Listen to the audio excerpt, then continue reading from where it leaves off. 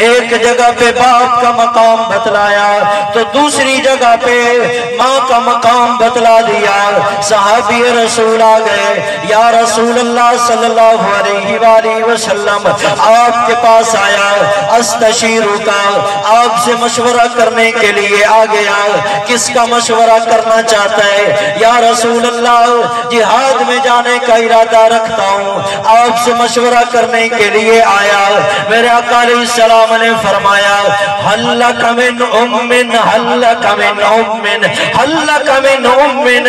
मेरे प्यारे साहबी, जरा ये तो बता तेरी माँ ज़िंदा या दुनिया से चली गई।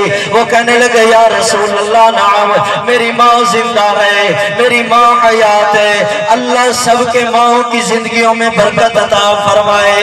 अल्लाह सबके बाप की ज़िंदगी में बरकत अता फरमाए। जिनके बाप दुनिया से चले गए, भाई अनवर साहेब, भाई सरवर साहेब, इनके वालिद मोहतरम, बाबा इल्मुद्दीन साहेब, इस दुनिया से पर्दा कर गए। हम सब दुआ करते अल्लाह, इस मजमे की सिफारिश की बरकत से, अपनी रहमत की बरकत से।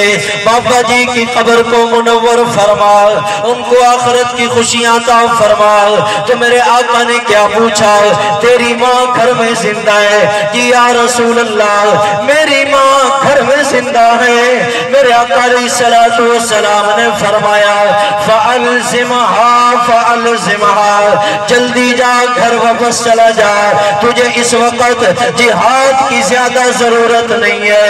इस वक्त तेरी माँ को तेरी ज़्यादा ज़रूरत है। जाके माँ की खिदमत कर, वो बूढ़ी तेरी अम्मा है। उसके कदमों में जाके बैठ जाओ और माँ की खिदमत करना शुरू कर दे। या रसूल अल्लाह जिहाद में जाने का बड़ा सवाब है, काफरों से लड़ने का बड़ा सवाब है। मेरे अकारी सलाम ने क्या फरमाया? जिहाद में जाएगा, लड़ेगा, मरेगा, शहीद हो जाएगा, जन्नत में चला जाएगा। लेकिन जा, इस वक्त मैं तुझे कह रहा हूँ, तेरी जन्नत रब ने तलवारों के साय में नहीं बल्कि रब ने तेरी जन्नत को तेरी माँ के कदमों में रख दिया है। अल्लाह।